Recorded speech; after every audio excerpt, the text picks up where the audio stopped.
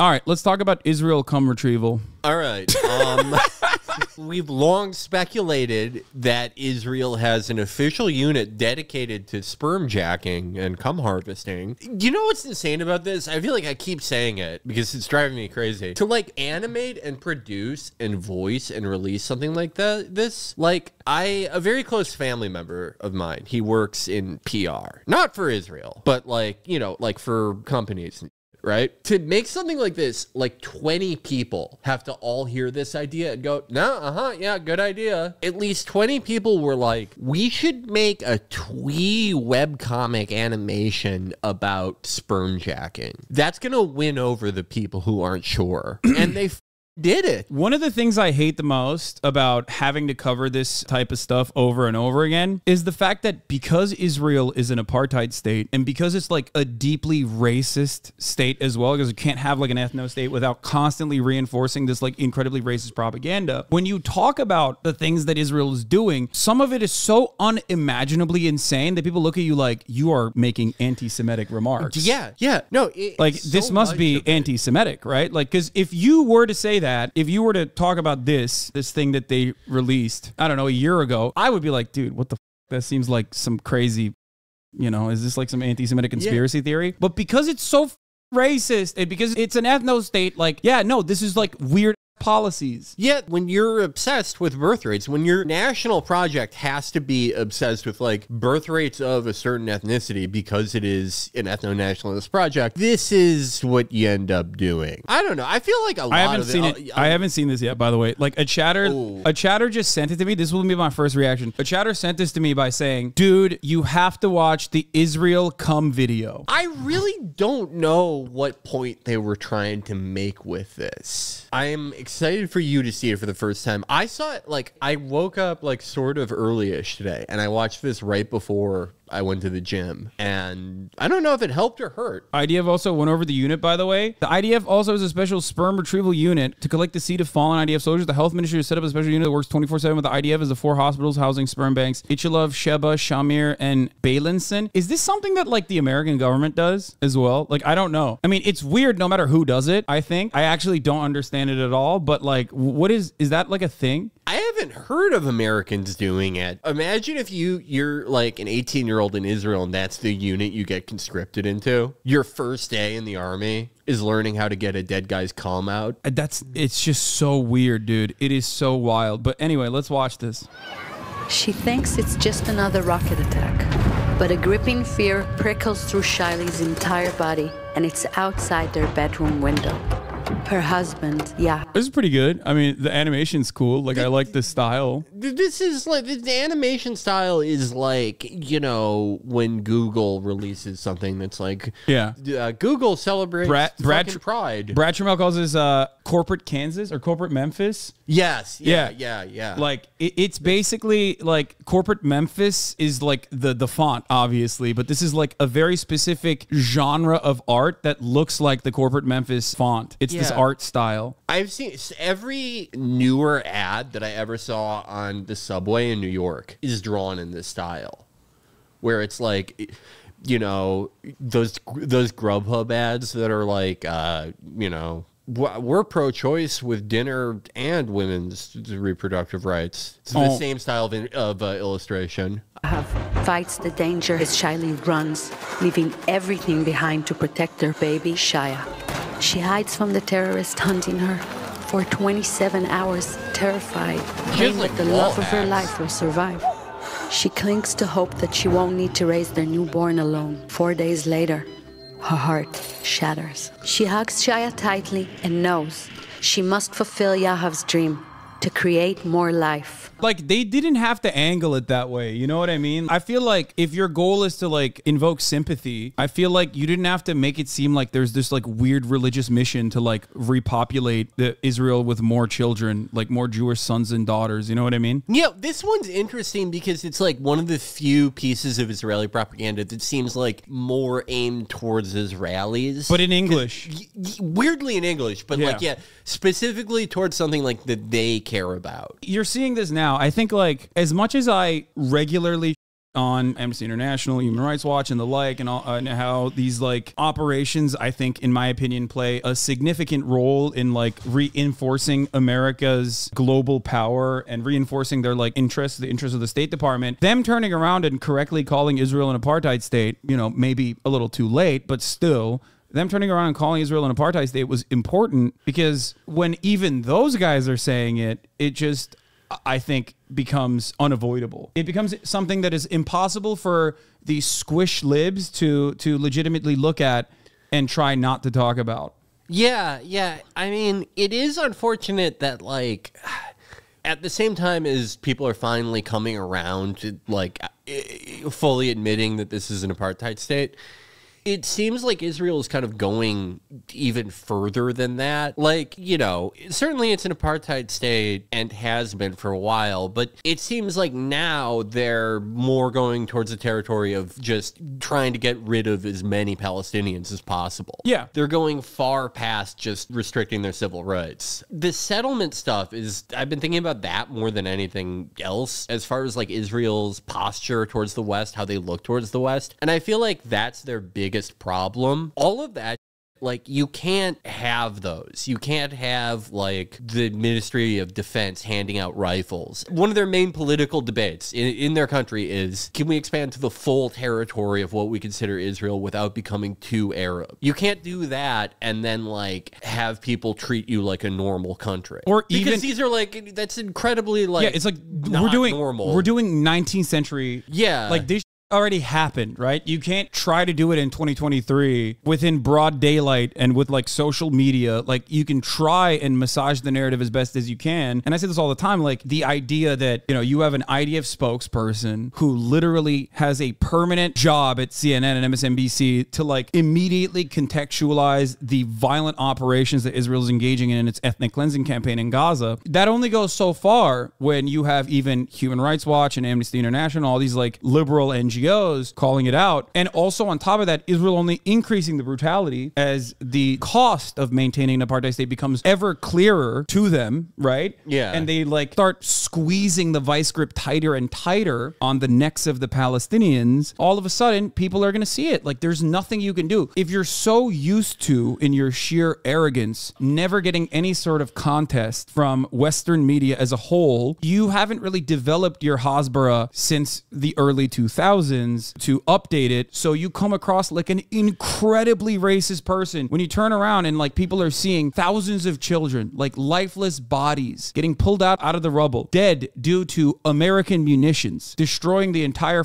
city block. Okay. And people see those videos. And then you turn around and go, well, those are terrorist children. Or you turn around and you go, uh, well, it's actually Bollywood. Like, you can't do that. People look at that and go, what the are you saying? That's the most racist thing I've ever heard in my life. Yeah, their entire playbook for like what they're doing now in Gaza, it hasn't changed since like 2008, 2009, since like Cast Lead. And that works if everyone is either watching cable news or hearing about this secondhand from people who are watching cable news or reading newspapers. It works when information doesn't come in this massive deluge. It starts to fall apart when only old people are getting their news that way. With settlements, they've only had two strategies they've ever had with that, right? One is to sort of do this diversity brochure strategy, like the same thing that colleges do. Oh, dude, they I've try to put like minority, like yeah, every they'll, they'll put like student. They'll they'll find like a like an Ethiopian Jewish person to be like, but then the other thing is just to be like, oh well, like you guys did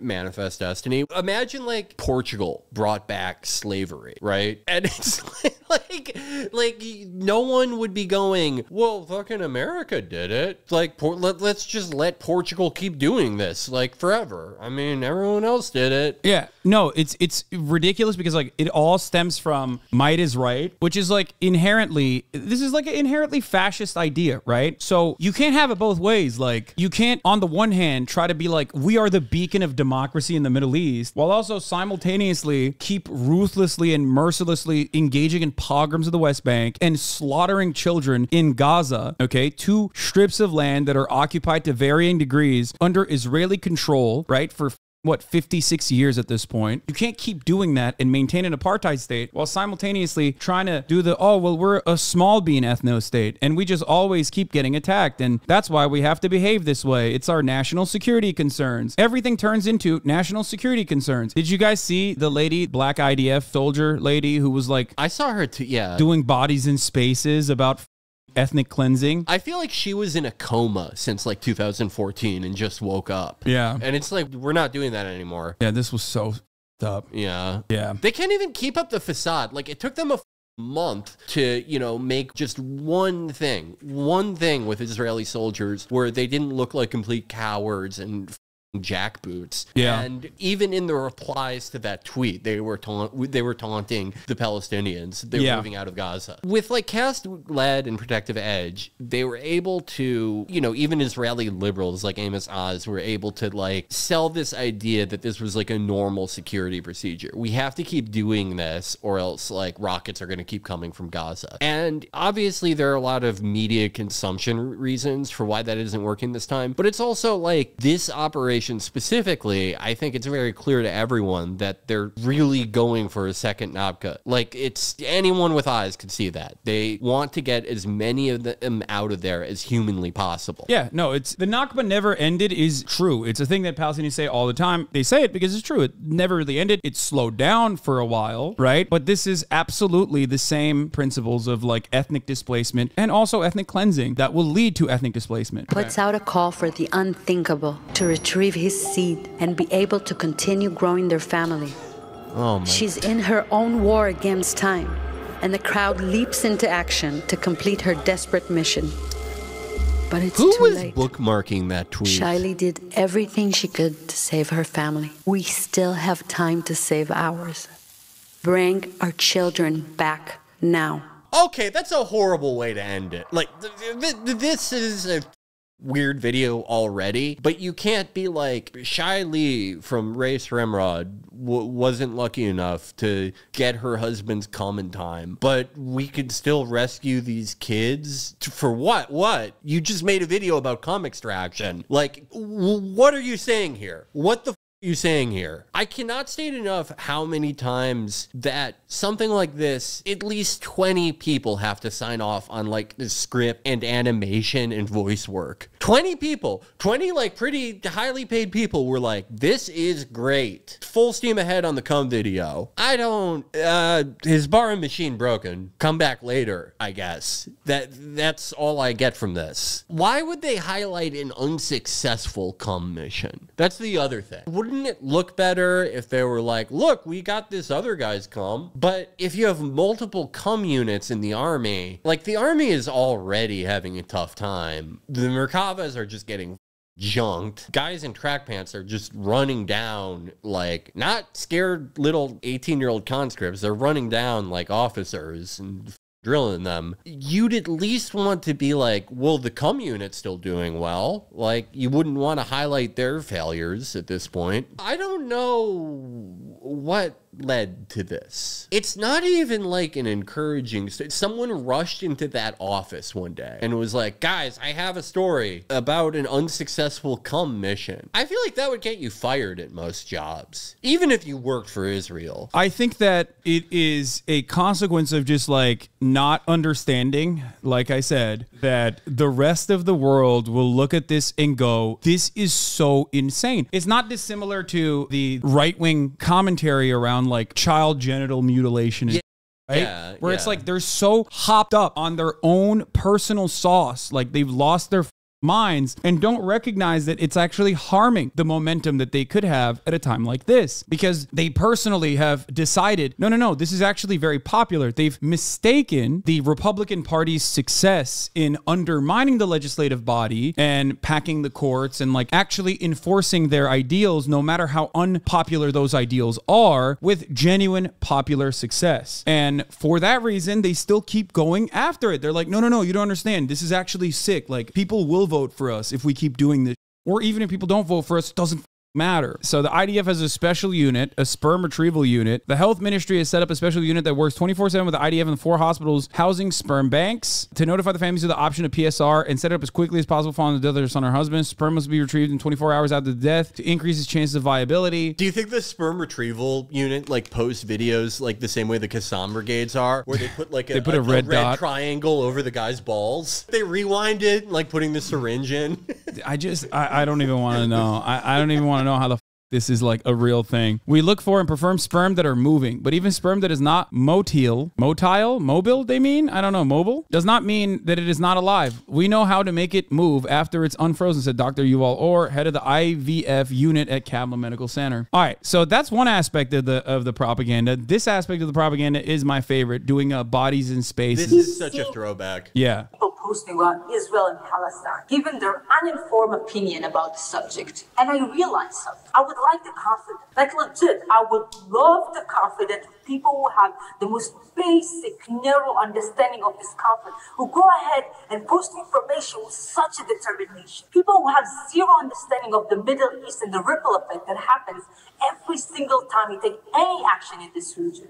Like you watch two TikTok video and one Instagram post and you're like, hmm, I'm down. Now I can weigh in on one of like arguably complicated conflict that exists in our world. Yeah, it's so complicated, This dude. is, I mean, it's already such a throwback. She's doing the Israeli version of like, Lord, give me the confidence of a mediocre white man, you know? Yeah. But also, like, I didn't even know they were still doing that one. Well, that one is like, in my opinion, that is like being used by all of the like the squishy libs who don't want to be like, yeah, this is really racist. Yeah. And there's no way to defend it. So they're like, you don't understand. It's a really complex situation. And a lot of people don't even want to read a little bit about it. Okay. A lot of people don't even want to read even a little bit about it. So they just go along with like, oh yeah, it must be complicated. It's not that complicated. The solutions are complicated due to the horrifying violence that Palestinians have been subjected to, right? But as far as like the morality of the situation, it's not complicated at all. It's one of the few instances in any kind of geopolitical conflict where there is like a very clear morality here. There's a very clear morality at play, and that is apartheid wrong, bad, not allowed. Where is she going with the ripple effect thing? Yeah, I think she's it's classic. She's gonna say, I assume, I only saw like bits and pieces of this, but she's probably gonna say, like, oh, well, you know, the Holocaust happened, and that uh, because of that, we need to have a majority. Israel needs to be a majority Jewish ethno state. There needs to be a place where like Jewish people that you know where Jewish people can go. There's 20 different Arab ethno states out there or Muslim ethno states out there. Why can't there be one Jewish one? Why can't we have our own? That kind of thing. Like if you cannot tell me why Yemen, actually Yemen, declare a war on Israel, maybe you're not the right person to give you. I don't even know who she's shadowboxing with. I don't even understand. Yeah. I wonder what she thinks people are saying about Yemen. Like, I mean, I don't get it. Like, yeah, I know why they're doing it, you know? More than everything, I would like the audacity. The audacity of people coming to my page, a black Jewish woman, and try to educate me about my own experience. Like, yes, Karen from Minnesota. They're doing the Karen thing? Oh my god. Yo! hey, yo! Oh, oh, oh, that's God, good. This sucks so much. Yes, Karen. Oh my god. Oh, that's so sick. I really needed your education about my own experience in my own country. Talking to me about social justice and racism like you care about black people in Israel? I love standpoint theory because it's like it's like okay, forget the fact that they like steril sterilized a bunch of Ethiopian women at the border. I had a good time, so f- you. Yeah. I, I, I, nothing, nothing like pisses me off more than when Israelis do this. This like, like, um, oh, you really think you know what it's like in America? It's like, okay, fine, no one's forcing you to take our money. You're, Yeah. you're free to go find another patron. Wait, wasn't it uh, Sudanese uh, refugees like not getting paid in Israel? Like, isn't that also another IDF detaining uh, Sudanese migrants who crossed into Israel from Lebanon? And then also, like, Israel also had a policy that Tucker Carlson loved a while back where they decided that they should have a bounty system for undocumented citizens. And Tucker was like, that's so sick. We should do that here too. But anyway, this is another way that Israel utilizes the foreign workforce and won't actually pay them. Foreign workers in Israel often have to pay exorbitant placement fees to secure work in the country, which has left many of them with too much debt to leave or will literally not pay people will not pay people until they do leave when their when uh, their time is done. That is actually something that the whole like guest worker indentured servitude pro- uh, program. That is something that is um, it's pretty common practice in a lot of countries in the region. Gulf countries, Yeah. have a huge standard practice of that. Some some of our other allies. Yeah, unfortunately, there is like you know, guest workers get abused in pretty much any country you can think of. Yeah. but it's it's like codified in a way it's like pretty much any Gulf Cooperation Council nation that you can think of. Anyway, let's keep going with the standpoint theory. When you actively don't, because you, you care, you will talk about the fact that you're literally being slaughtered out, but you don't. The only time you talk about the experience of black people in Israel is when you fit your political agenda, when you can use and abuse our pain, our struggle to promote your ideology. You exploit. Wait, is she talking about like the Ethiopian uh, Jewish women being sterilized? Like, is she saying like don't use that against Israel? Yeah, like I don't get what she's like, saying. I don't know if she's saying like yeah, it's pretty unclear. Like is she saying don't talk about like how racist Israelis are if you're going to use that to criticize Israel? yeah, like what? I think I think that's what she's saying. yeah. I don't know what's going on there. Our struggles to promote an ideology that we don't agree with. And the same people posting these things will never tell you that black people in Israel feel like this is their homeland, that they have bled and sacrificed and fought for this country. I love when they also do this with like a like a Druze person too. Yeah. Like they'll always have like the one Arab guy in the military to be like, you know, I, I love Israel. I don't know what you're talking about. And like they treat us so good here. Please Yeah. don't say that they don't. Yeah, no, they- they have like a diversity brochure for like pretty much any group you can think of. And then it's like, yeah, just ignore the video you saw this week of like a lynch mob of hundreds barring a bunch of uh, Arab students inside a college. Yeah. and Israeli police sitting around doing nothing. Yeah, or you know, any number of different pogroms happening in the West Bank and has continued to happen with you know small arms that they got from the United States of America. As a matter of fact, it's pretty fire. Great stuff. Thank you. Uh, shouts out to Itamar Ben Gvir for that. My community literally walked through deserts in order to be a part of this country. And me living here today wearing these uniforms is the actual realization of my And, and well, I guess it cut. So, like, like, I can't imagine she was getting anywhere coherent with that.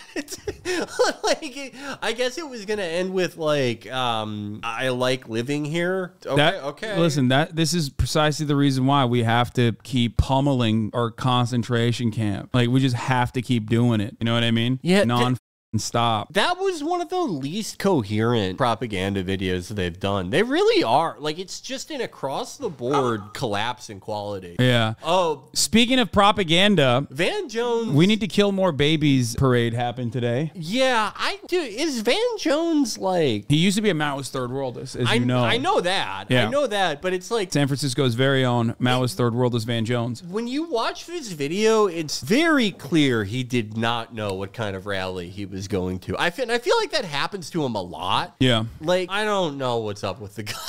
I pray for peace.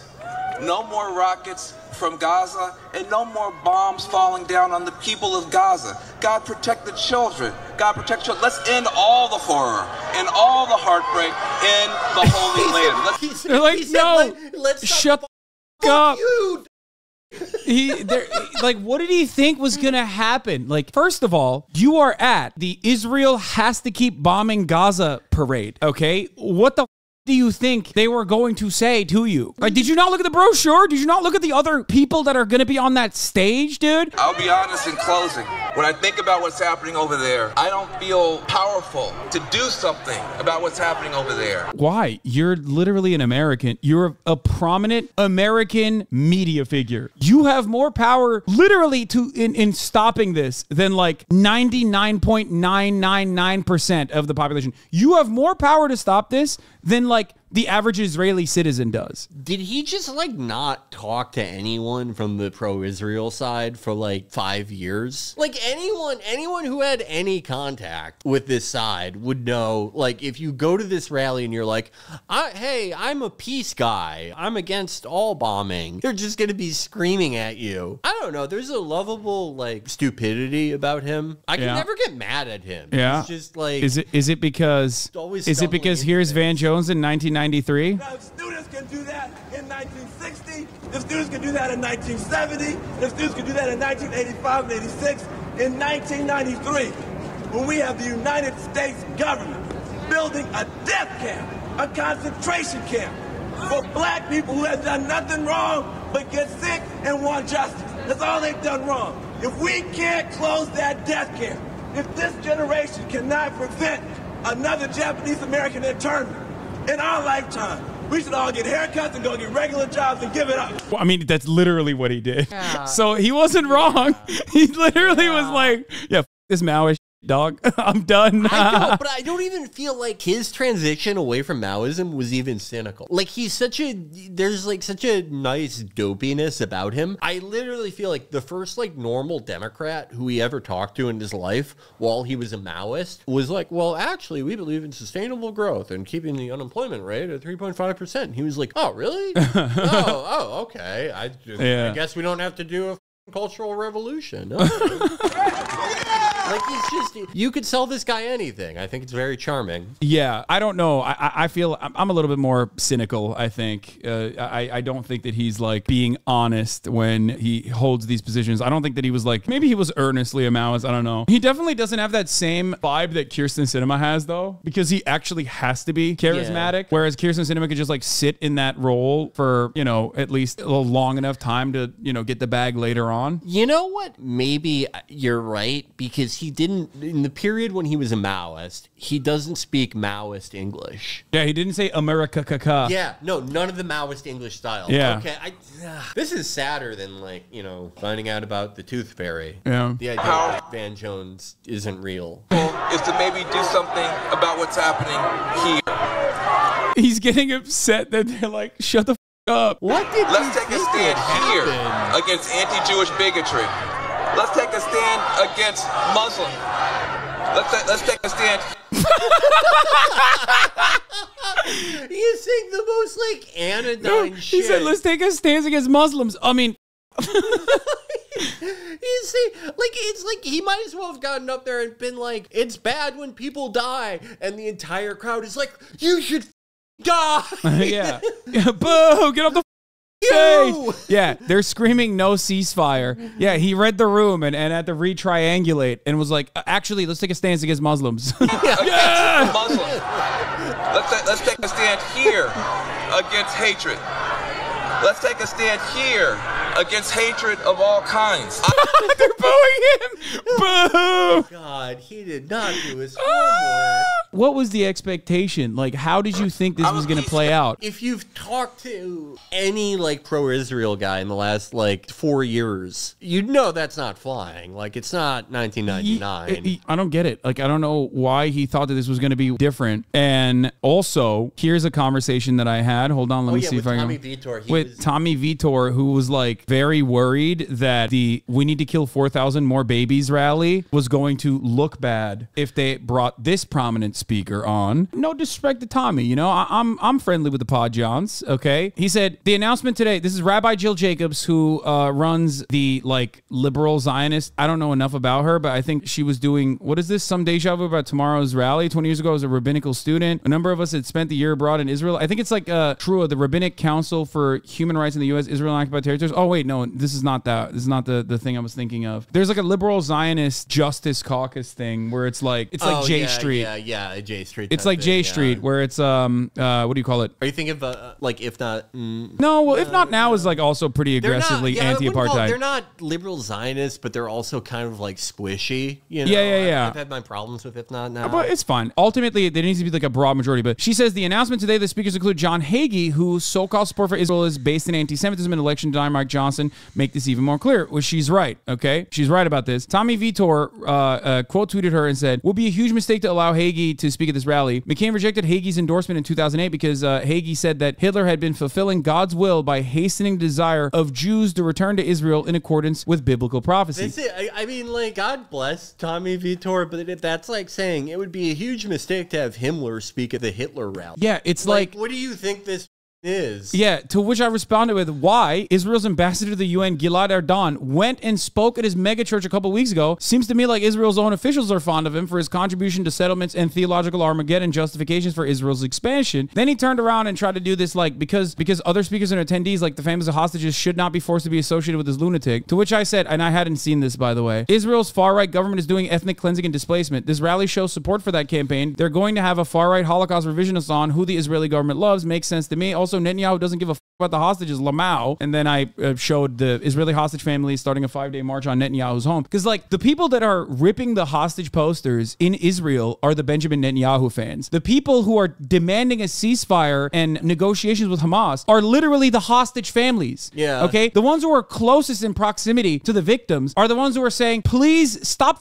blowing up my family members most likely which is understandable. It's an understandable position to take. People in america however are using those hostages cynically to be like no no no the bombing campaign has to continue. The bombing campaign has to continue. Not dissimilar to the unknown guy that benjamin netanyahu brought to a meeting the first ever meeting that he had with the hostage families where families of kidnapped israelis meet netanyahu only to find unknown family boosting the prime minister. We need to stop this whiny behavior. We need to win the war said the unverified relatives who appeared at the meeting between the hostages families and the Israeli prime minister and stirred an uproar amongst the others. Yeah, he since the beginning, Netanyahu has told the hostages' families basically to off. The greatest danger to the hostages' families in Israel is like other Israelis, and the greatest danger to the hostages themselves is the Israeli Air Force. I don't even know how many of them are still alive. Saying that everyone attended this rally, like families of the hostages support ethnic cleansing and displacement, is wrong and unfair. When people on the right lift up individual shitty actors and comments made at pro-Palestine rallies, we can all agree Hagee sucks. No, this is What the- ridiculous. What does he fit? Like, like what? It, what is the year does he think this is? But I also don't understand, like, then why is there even a protest for Israel? Because, like, the current position, why do you do a protest? You do a protest because the government is not listening to you, right? You do a protest because you're not getting what you want from the government and you want to show them in a demonstration, a show force that, like, no, there is infinitely more support for your opinions out there in the broader public than not, right? Yeah. What's the purpose The behind this only protest? two things that you could be protesting for that the government isn't giving you, that like you're not getting from the White House if you're on the Israel side, is either that you want to just fully nuke Gaza or that you want to do the utterly suicidal thing that somehow Netanyahu is sort of on the realistic, more realistic side of this, fully expand the war in the north. Like Yeah. fully expand the war in the north with Lebanon, which talk about fucking terrifying. Netanyahu, even he realizes that this is delusional. To which I think Yoav Gallant has literally had a, a more right wing position on Yeah. than Netanyahu. The defense minister, Yoav Gallant, the one who said we're fighting human animals, is the one who's like seemingly, as far as I understand it, I, uh, to the best of my ability, looking at like Israeli sources of information, he's the one who's seemingly trying to open up a new front in the conflict by routinely agitating versus other forces in the government holding back on it is like possibly even Benjamin Netanyahu. They, I,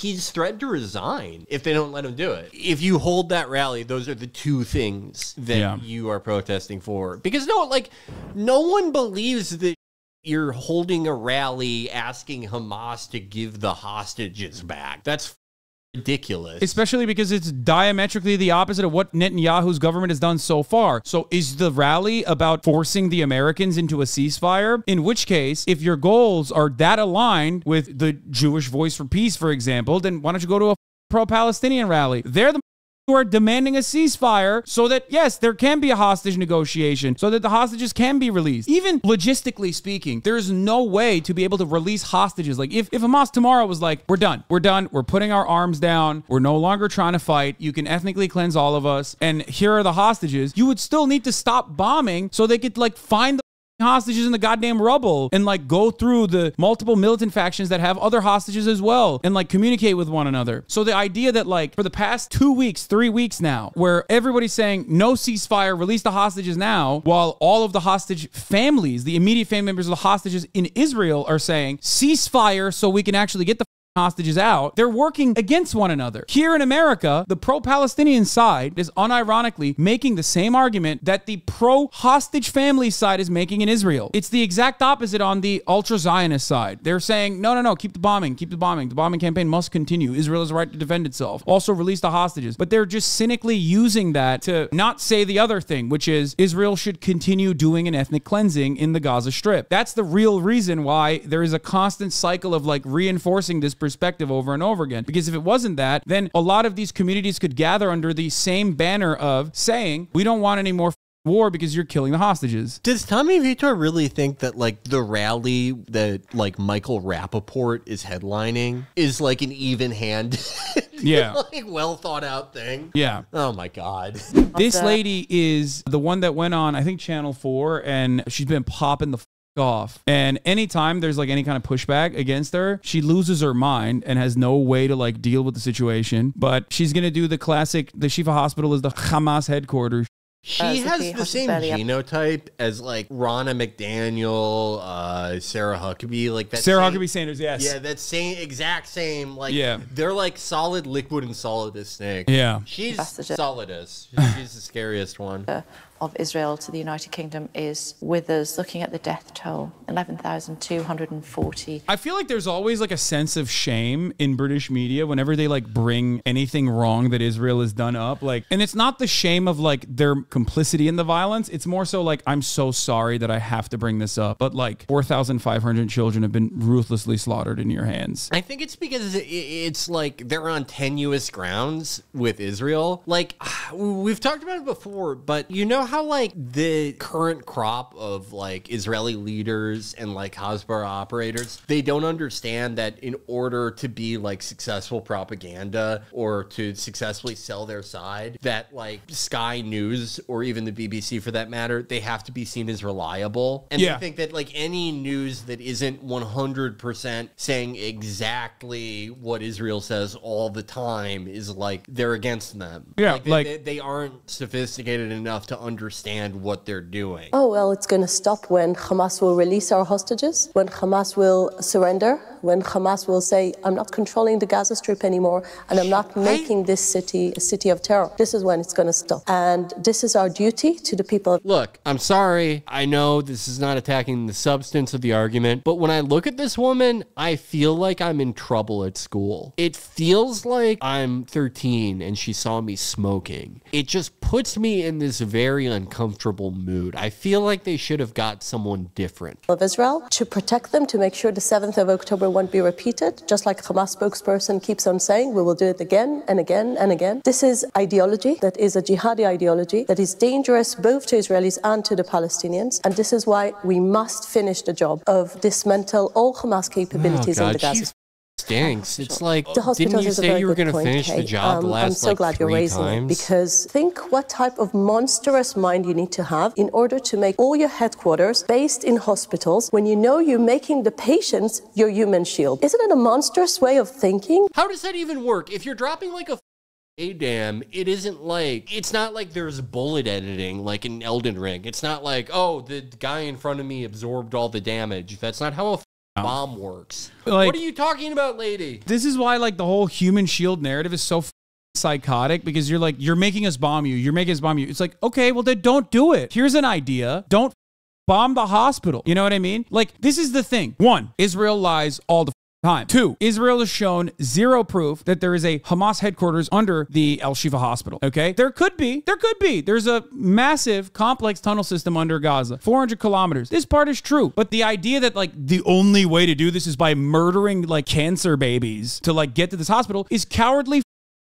And Okay. they, they've gone even beyond like dropping bombs on it. They're sniping patients through windows. They shot a paraplegic guy in the neck. and nurses. They they shot nurses. They sniped at nurses. So the idea that like there is conclusive evidence and therefore we have to bomb this hospital is ridiculous. They've never had conclusive evidence. They might be able to prove it after the fact, but they absolutely every single attack on a hospital thus far has been completely, completely on no intel whatsoever. It's just a rumor on top of which uh, doctors that have worked at that hospital, not just like Palestinian doctors, but also literally, you know, Norwegian doctors, like the Doctors Without Borders doctors have said, there's no Hamas underneath this hospital. We've never seen Hamas underneath this hospital. We would at least know that there was like some Hamas relationship. Even if there was, however, and I'm repeating this once again, let's say there's a tunnel system underneath and they've point to that and go, this is where all the Hamas babies were. You know, if they do that kind of shit, still doesn't justify blowing up a hospital. Doesn't justify shooting at random civilians inside of the hospital. Doesn't justify shooting ambulances. It's ridiculous. Yeah, it all goes back to like the intentionality argument, where if you've killed,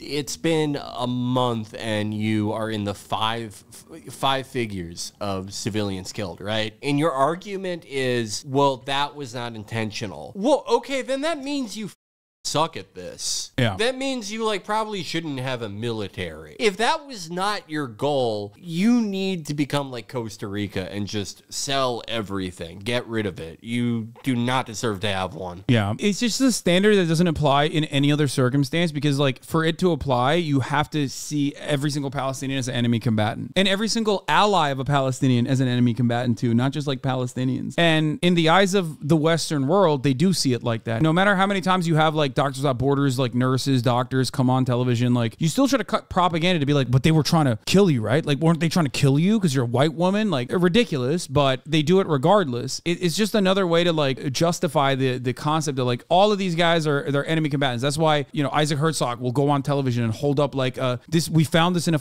kids room in a children's library. Look, it's a Arabic copy of Mein Kampf with annotations. It's like what the. Are you saying? None of this justifies killing children. The Mein Kampf thing was, uh, again, this is the least creative country in human history. It's insane. Like, okay, like, let's say that you really did find that in someone's house in Gaza. Out of however many houses there are in Gaza that you bombed out of, that you stormed into, that you shot parents and kids, you did all. You found Mein Kampf. So, like, then all of this is, like, okay. By the way, while we're talking, it seems the IDF is uh, supposed to raid the Al Shifa hospital right now, according to Al Jazeera News, which is an insane thing to say. But yeah, that is what's going on currently. The Israeli just notified the Gaza health officials that they plan to raid Al Shifa hospital soon. So that's what the going on, according to Al Jazeera Breaking. There it is, dude. The greatest villains of all time, you know, the Palestinian hospital workers. Not that long ago, there was a huge debate over whether Israel intentionally hit a hospital or not. Yeah. And of course, you know, Yeah. long, long after long after that, all the Israeli claims on that have been debunked, but you Yeah. know, it doesn't even matter. Yeah, it doesn't. And that's the goal. The goal is not to like actually have this conversation. The goal is not to like actually inform people.